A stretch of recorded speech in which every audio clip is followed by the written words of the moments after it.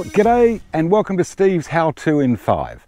Now today we're going to have a look at the Super Tenere, or I guess by the correct numbers, the Yamaha XTZ 1200 Super Tenere. It's a 1200cc parallel twin and uh, I'm filming it here in the Australian outback where this machine is right at home and we're going to have a fairly comprehensive look at it today. We'll look at the brakes, the motor, I'll do a speed test, um, 0 to 100 or 60 mile an hour, and we'll put it in some sand. We'll do a little bit of hill climbing and just have a look at some of the features of the bike. The reason for this video, it's 10 years old now, and what do I think of this bike at 10 years of age? How does it compare with what's on the market now? And we'll have a good look at it, inside out and back to front. The motor itself, which is a little bit hard to see in there, it's a 1200cc or 1199 cc's to be exact. That's a little over, I think, about 73 cubic inches. It's a parallel twin, so um, two cylinders, liquid cooled, overhead cams, of course, four valves per cylinder, and it produces about 110 horsepower in standard form. That's about 81 kilowatts. Um, it has four spark plugs, so two plugs per cylinder, uh, which is always a good thing. If ever you have a plug let you down, um, you've got a backup spark plug in there. And, you know, it really is a potent power plant. Um, you twist the throttle on this, as you'll see shortly in some of the videos, uh, in some of the clips that I've got, and it hauls.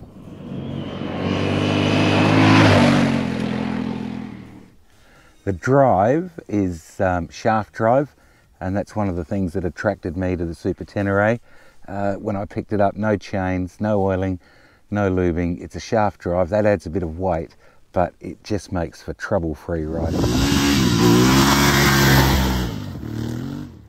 Brakes on the rear, um, single disc. That's 282 millimeters, I think, or 280. No, I think they're 282 millimeter and super strong, way more than you you ever really need. You can see they've got the caliper mounted nice and high, so you've got this clearance here. You're not building rocks and that sort of thing when you get in heavy terrain, which is always good. If we come across to the front brakes, and the front brakes on this are more like on an R1. uh, well, no, actually they're not that big, but um, they're 310 mil. It's a unified braking system. So um, basically what that means is when you apply the front brake, you will put a fraction of braking to the rear wheel as well. Uh, I can't say as I actually feel it, um, but I'm sure it's working. Uh, it was one of the selling points when these were new, the unified braking on them. Um, so yeah, really, really good brakes.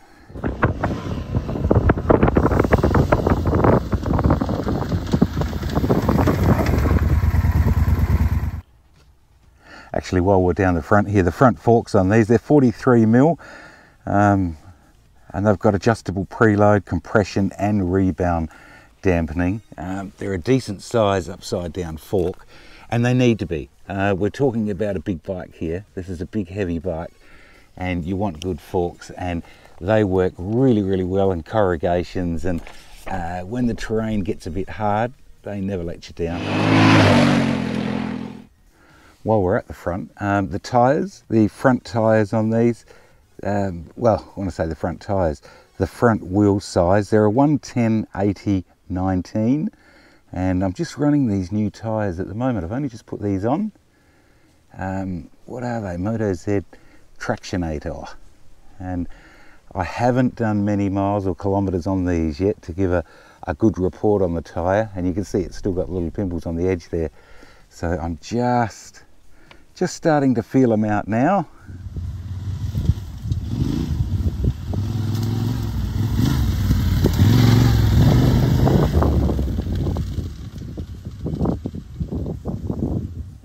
The rear tyre is a 150 70 17 um, and they're a fairly big rear tyre but what I will say is um, uh, with rear tyres how do I term this? Try and treat them as like having a fling with a, a hot redhead called Tiffany. It'll be fun while it lasted, but it won't last long. Certainly don't fall in love with your rear tyre, because, um, look, I managed to chew them out real fast, maybe about 3,000 kilometres, and they've gone. There's a lot of horsepower coming down to that rear wheel, and um, yeah, as I say, don't fall in love with your rear tyre, but you will get to try a lot of different tyres on it. Mind you, that could be something to do with my riding style as well. Up on the pegs through the sand and bring your weight back. Although I'm not going to do a, uh, a lesson on riding in sand. Uh, Dusty Wessels does a really good tutorial on his channel. The headlights are pretty good. Uh, they've got those magnification lenses in the front of them there and um, yeah high and low beam they seem to throw out fairly well this is a standard option. Well standard option that's not the right thing is it? But um, this is an accessory you could have fitted on these these little fog lights. Um, uh, yeah they're more of a cosmetic thing really. They don't really do much.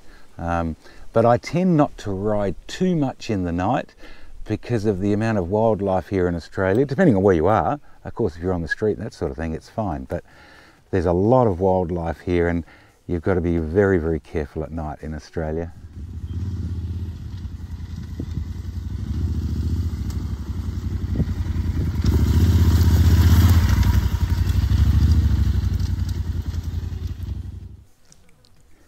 As with any bike, um, look, it's important to let it breathe, isn't it?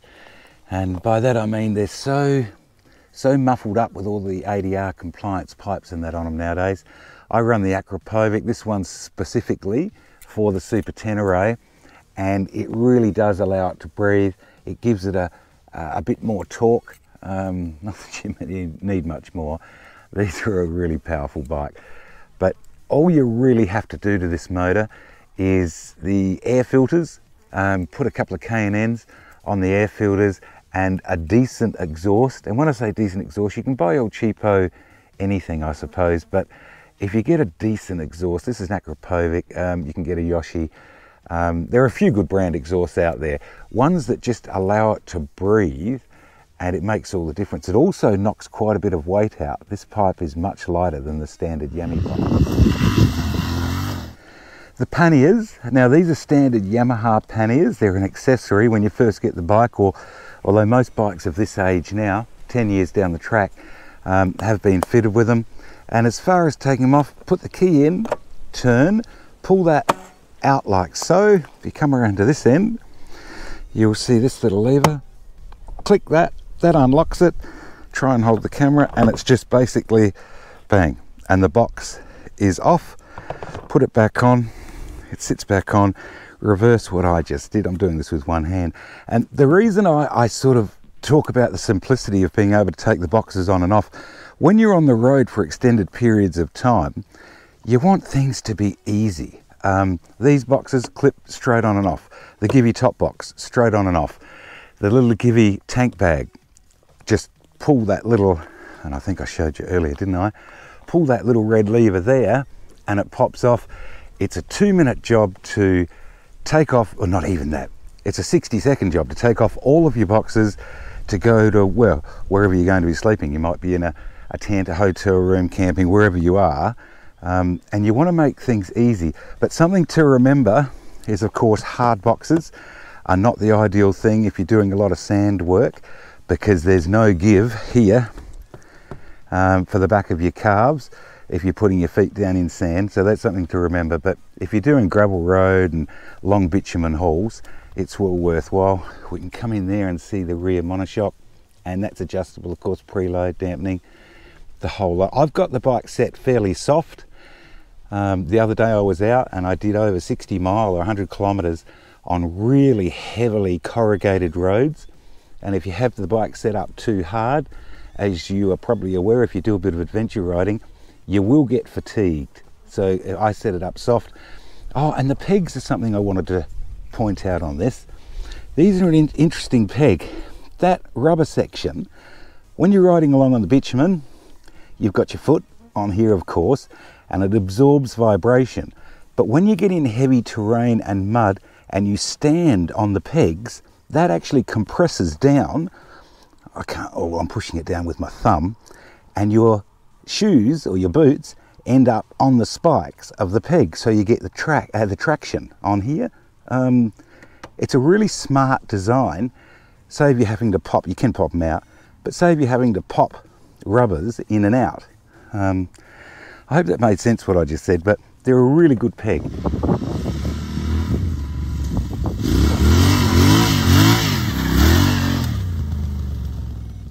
The seat is adjustable in height. Um, there's a little keyhole that you can see where, just down there, that you can pop your key in. Seat pops off and there's a couple of little risers in there. Well, actually, I've got it on the high setting.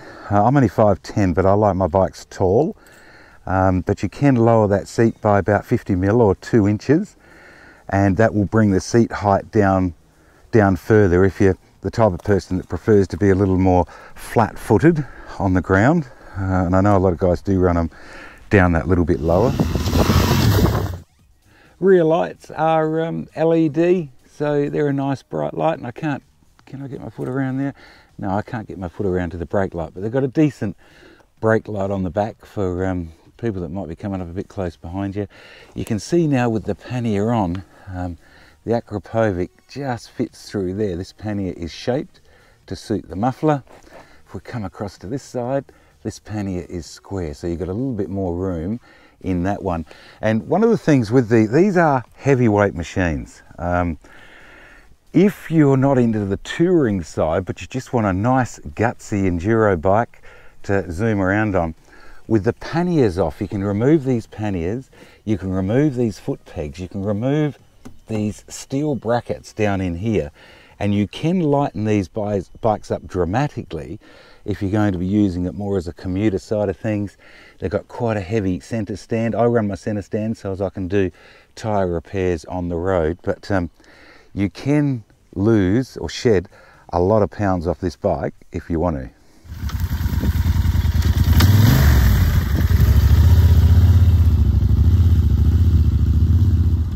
Your toolkit, um, battery, fuses, everything is in behind here, this cover here. So you've got one, two, three, four. They're quarter turn screws. Uh, actually, they're um, Allen key, aren't they? Socket head caps.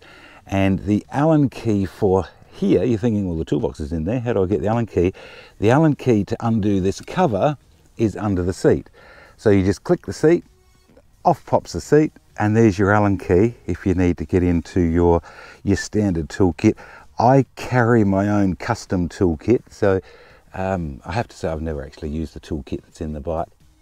In fact, I've never used the toolkit, the custom toolkit that I carry on this bike. I've never needed to, but I have used it on other people's bikes. And you know, you personalise your toolkits um, so as you know exactly what you've got. Oh, one of the other things I've got here, can I get around and show you, is because it's a 10 year old bike, I've got my USB outlet there and also, now I've hardwired it so ignition doesn't have to be on, but that's just for your telephone and whatnot. I fitted this one myself. There's a standard uh, 12 volt like cigarette lighter one over here. Uh, well, it's not really cigarette lighter, is it? It's just a 12 volt outlet. But pretty well everything nowadays is um, USB. So, uh, but it's also, of course, a good voltmeter. So you can flick that on or leave it on. I mean, it's not really drawing much, but um, you can just check that you are charging when you're riding along. Of course, you've got a warning light up here, but that's a handy thing to have on the bike as well.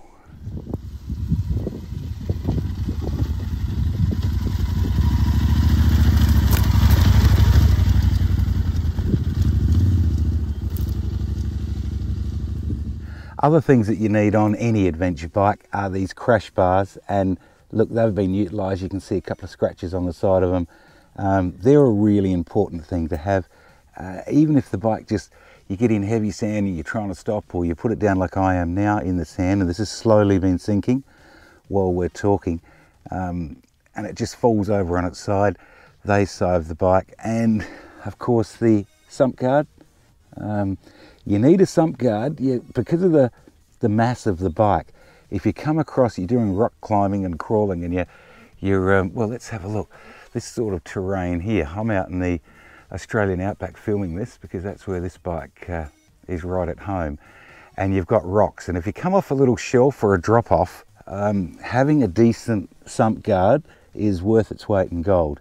And look, it's a little bit of a pain when you do the oil change. You've got to drop it off or get to the oil filter. you can see with the oil filter there, because I forget when I fitted them. I guess I could just look at the books, but I tend to write what the kilometres were when I fitted the oil filter. Um, it's something my dear old dad showed me many, many years ago. But yeah, sump guard, crash bars, uh, important things to have on the bike.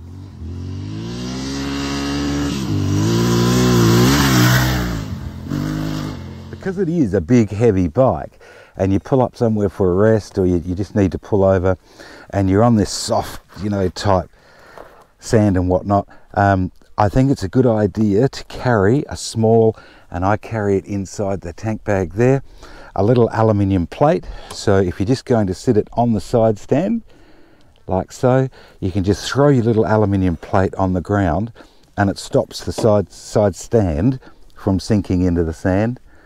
Um, you can buy extension plates for them, but they get pretty big and um, I prefer to just pull my little plate. It's only about four inches square, but it's enough to give it stability on the soft stuff. I spoke about the seat, the fact that you can put it up and down. Uh, it'll go down about another two inches or something from there. But something I didn't mention, it's a really good, comfortable seat, and they've they've shaped it just right. It's nice and broad across the back section here, and you tend to find yourself pushing back onto that, which is nice, gives you a bit of stability. But then when you get a bit more spirited, you can slide up and the seat narrows off quite well here um, and that allows you when you're standing on the pegs for your legs to come through because you're moving your body quite a bit especially in the sand type work so the seat I, I look I have to say I've, I've got no complaints about the seat and I've spent many many many hours with this seat now something I didn't mention um, the radiator is on the side of the bike. So come back a bit, that's where we are. There's the radiator side mounted in there. There's a little, probably hard to see through there, but there's a little thermo fan and the air intake is here at the front of the bike. Um, yeah, so you can see through there. And the reason I'm pointing that out is one of my other bikes, and I'm not into canning bikes, so I won't mention it, but it had a front mounted radiator. Um, actually, another one I had had the oil cooler, and when you're zooming along at high speed, is zooming a word? That'll do. You're belting along at high speed, and especially when you get up north of Australia, you get locusts and um, all sorts of bugs, and they tend to blanket the radiator when it's mounted at the front. With this one, having the air intake on the side like that, the bugs go in, they'll go whack through, hit the end, and they'll actually fall out and come out down here. But the air is still passing through. That's probably a terrible shot, but still passing through. So, um, and I have to say, I, apart from a brush after a trip, I've never had to clean the radiator on this while on the road.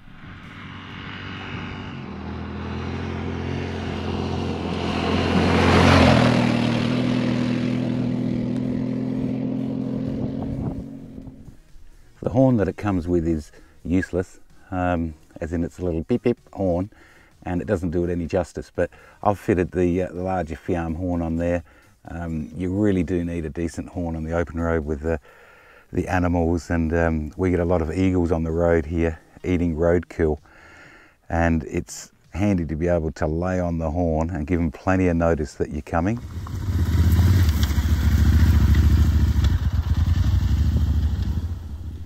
Clutch and of course brakes uh, are all hydraulic, so it's a beautiful, smooth clutch. Um, it's a six-speed gearbox, which I don't know if I mentioned before or not. And top gear is great. I mean, cruising speed on this bike, um, well, there's certain regulations and things you have to follow, but uh, it's really comfortable around that 140 kilometers an hour. That's 90 mile an hour. It seems to just be in the sweet spot. Um, you can go up a bit quicker than that up north. Um, if you want to, but then she starts to gobble the juice. So 140 or 90 mile an hour is the sweet spot for this when you're cruising.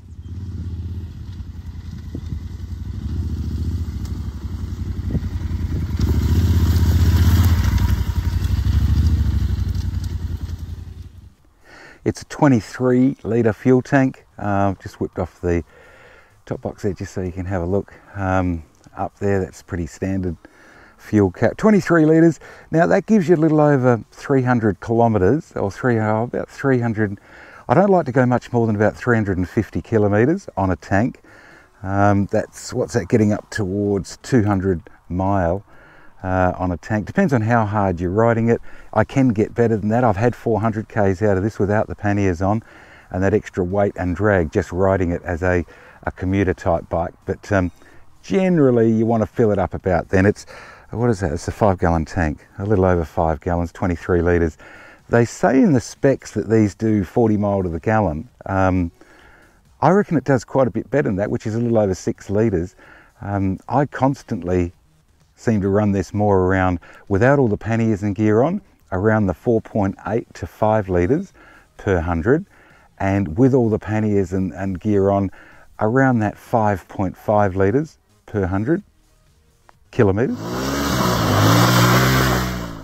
When she's off the centre stand, um, you got about 200, a little over 200 mil of ground clearance. That's um, 200 is 100 per four inches. So um, that's a little over eight inches of ground clearance, which sounds like a lot, but you need all of that um, when you're in really heavy, rocky type terrain and drop offs and that sort of thing.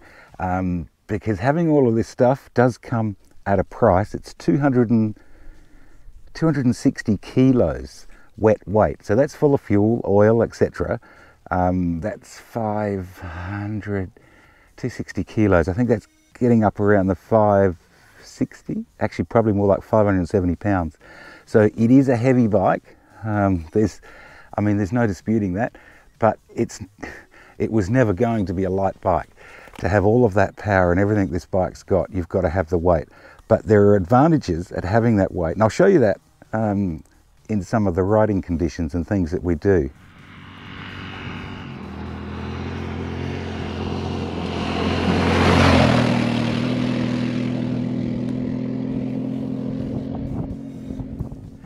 If you're into performance specs and that sort of thing, um, the Tenere in standard form, so that's without the exhaust and without uh, putting on a decent set of air filters and whatnot, it does the standing quarter mile in just under 12 and a half seconds.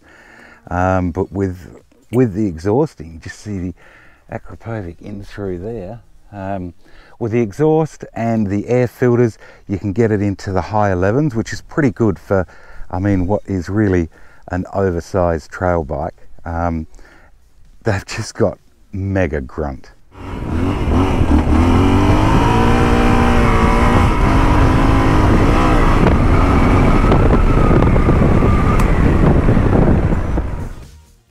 So, what is it actually like to ride? Look, it is a very, very good ride. I know it's a, a big, intimidating bike to many, uh, but it's far more agile than it looks. It's no motocross bike and it's not like my WR. Um, it was never designed to be. It is a big, heavy adventure bike made for long distance touring. You do dirt roads, you do some sand trails, um, you can do single bike trails, but you're not going to be doing backflips and that sort of thing.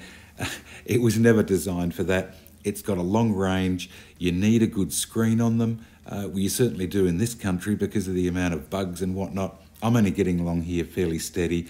Um, there are a lot of kangaroos along this road, and if I need to pull up in a hurry, I don't want to be going too hard. Um, this bike will cruise at enormous speeds. It, it does it easily. Overtaking is effortless. We have road trains in Australia now. They're like your semi or semi trailers or your lorries, but they are three trailers long. So they're enormously long. And up north in Australia, they get along pretty quick, um, you know, around that sort of 130, 140 kilometre an hour mark. That's getting up 80 to 90 mile an hour.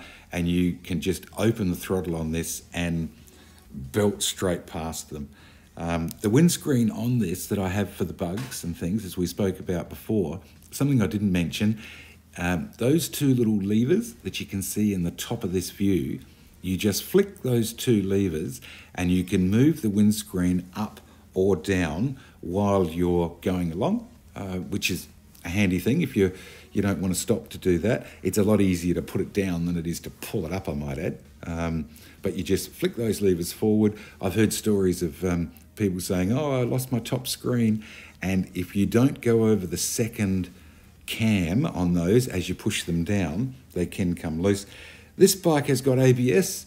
Uh, ABS, uh, look, it's it's probably not your biggest friend um, on the dirt. In fact, it's not a friend at all to me on the dirt. But what I find is I tend to, I was going to put an ABS bypass and I never did it on this bike. Um, I tend to just stab the back brake just to start the momentum of the rear wheel coming out and then power on. You've got that much power, you can just wind it and straight away it'll come on. Um, and it'll just slide the back just momentarily. Actually, as I come into this section here, I think I just rode steady through there. But as I come out on the left hand side here, I don't touch the brakes or anything. I just ease on the throttle and then give it a bit of a blip and the, you can see the tacho go up there. The back of the bike will come out and it steers itself. You, you really, you're just sliding around the corner. The mode switch, touring mode, um, if you have it in touring, and that can be a good idea, um, it softens the throttle. It, it leans it up and gives you better fuel economy too, I think. But it softens the response on the throttle. I tend to run it in sports mode because it makes it, it far more crisp on the acceleration.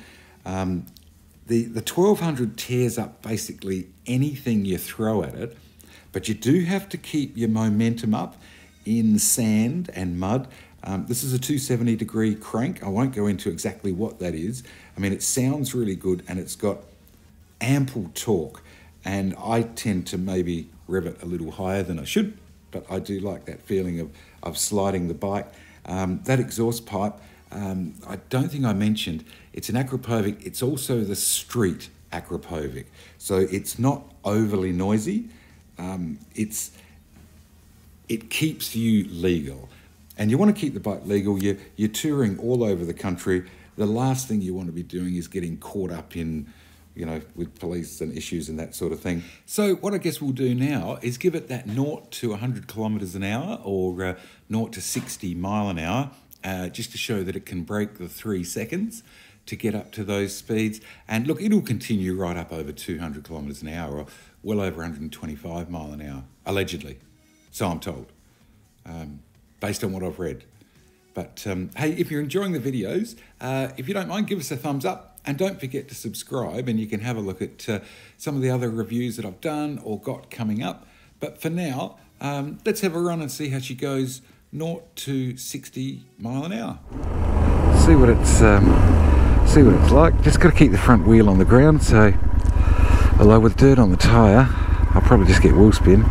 We'll see how long it takes to go from 0 to 100. That's uh, 0 to 60 mile an hour. Here we go. Three, two, one.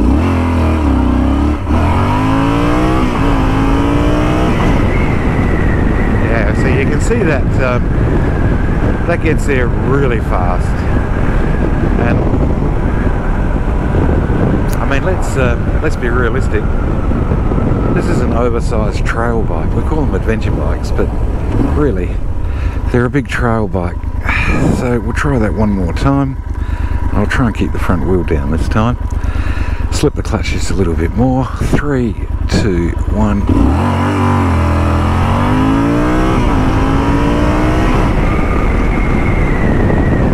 Yeah, so you're not even out of second gear.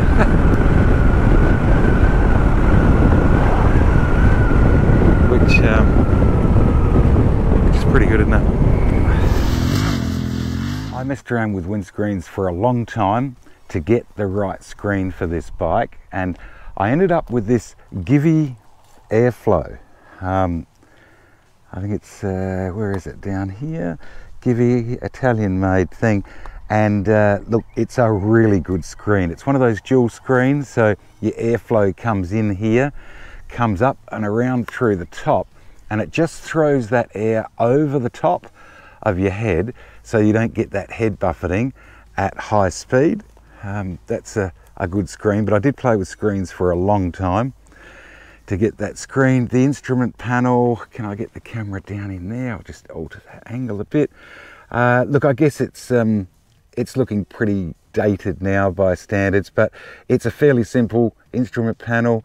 Um, you've got trip one, trip two, and of course your overall kilometres. This one, 51,641.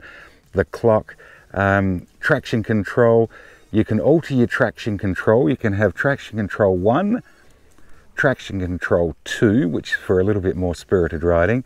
But I find I tend to push this, if you hold this button in, you'll see a little orange light come up there and the traction control is off.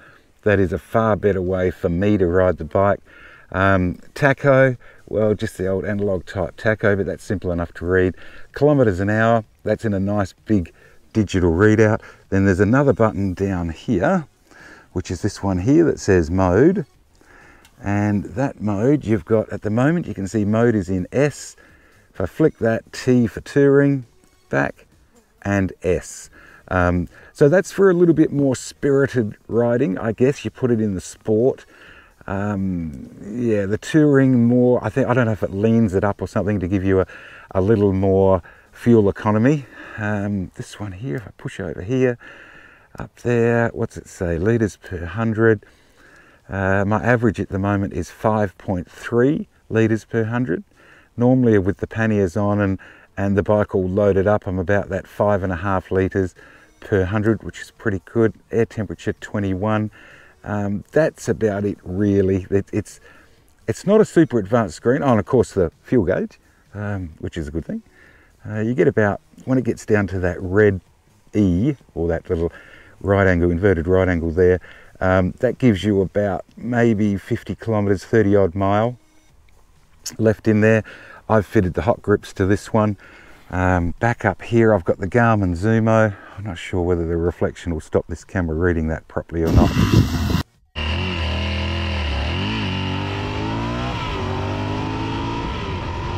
When you're riding it on the uh, the sealed roads, the the tight and twisty tight roads, um, it's a lot of fun. I mean, it's no R1, but it it really handle. I mean, the hills and those sort of things make no difference to this motor at all. You've got that much power under your belt, but it it handles really really well. Um, you don't realise you're on a bike of this capacity. I sit. I have my seat up high. I like bikes to be set very tall, and I've got my suspension set soft um, because it's. I think I might have mentioned before. You don't fatigue anywhere near as much with the soft suspension um, on continuous undulating roads and that sort of thing. But it rides well as a, a Sunday sports bike to go up through the hills and brakes, well, they're as good as gold. I don't know that there's a lot of brakes of this era um, when this bike came out that are as good as these brakes. And yeah, it's just a fun bike to ride through the hills if you just want to buy this sort of thing as a Sunday cruiser. Ample power, ample braking. It'll turn in really, really well with that 19 inch front. Um, it makes it fun to ride.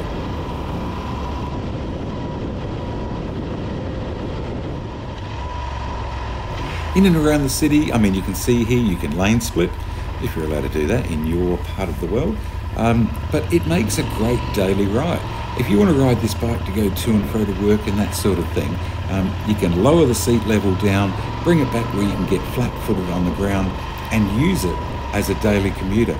It will handle that type of riding easily. It's not too wide, it's not too heavy, um, it's very agile to move in and around the traffic, it's easy to park, um, and you've got a high stance.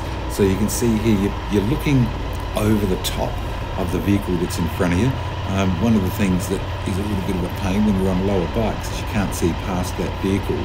Um, because the Tenere is so tall, it allows you to look over and it makes it quite a handy daily commute bike. You'd take off all the saddlebags and you wouldn't have all of that gear all over it, of course, although you may wish to keep them on. You may keep your wet weather clothes in there, but it'll do this, this type of work easily. On the freeway, of course, well, it does it easily, doesn't it? Remember, this bike's not made for backflips and jumping logs or climbing rock walls and that sort of thing. It was never designed for that. It's an adventure bike. It's made to cover massive distances and really it does that with ease. set the cruise, sit back, and basically enjoy the ride.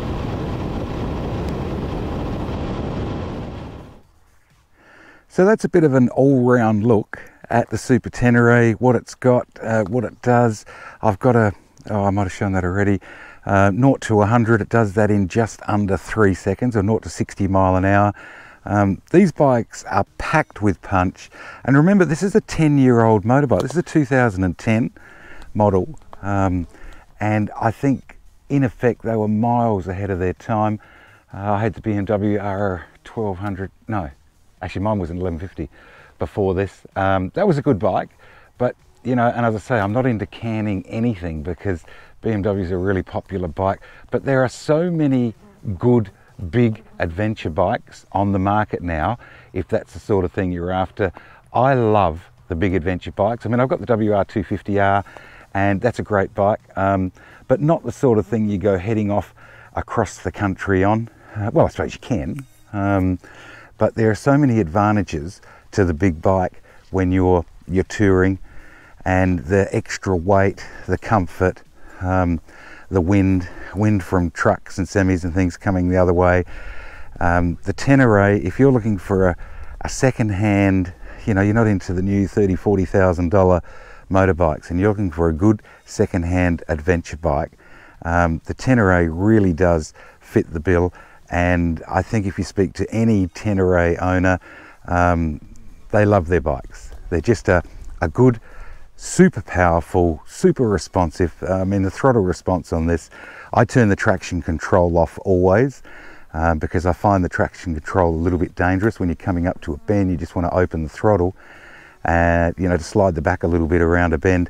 The traction control will kick in and um, yeah, I yeah, I don't like that. I like to be able to open the throttle and the back wheel start spinning straight away.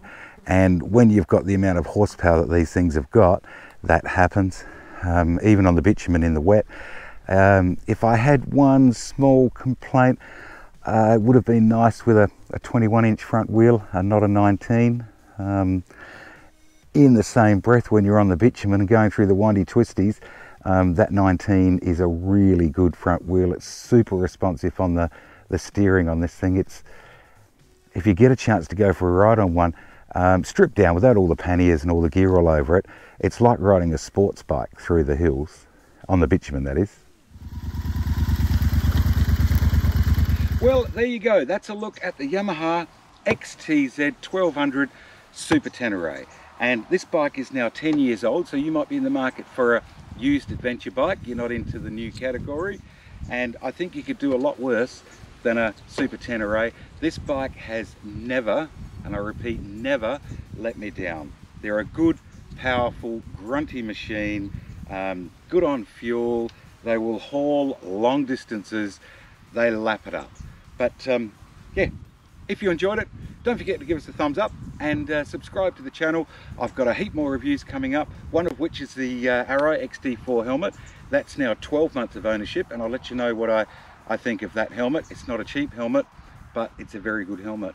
Um, I'll be doing some comparisons between the Can-Am Spyder F3S and the Super Tenere. A few braking and acceleration tests, um, just more for the fun of it. But until next time, cheers. Is that a wrap?